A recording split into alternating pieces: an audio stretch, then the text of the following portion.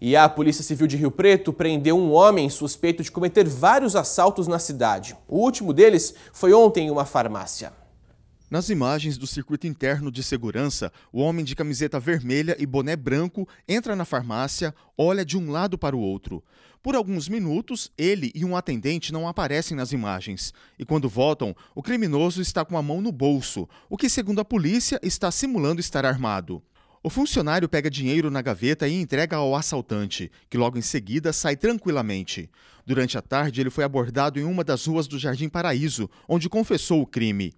O homem disse que saiu da cadeia há 40 dias e, para manter o vício das drogas, cometeu os assaltos.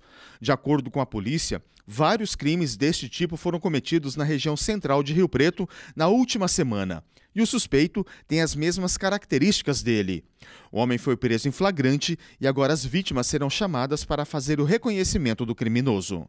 Ao que tudo indica, ele é o principal responsável por esses crimes, mas ainda é preciso desse passo da investigação, que é quando as vítimas são chamadas para fazer o reconhecimento facial aí desse suspeito.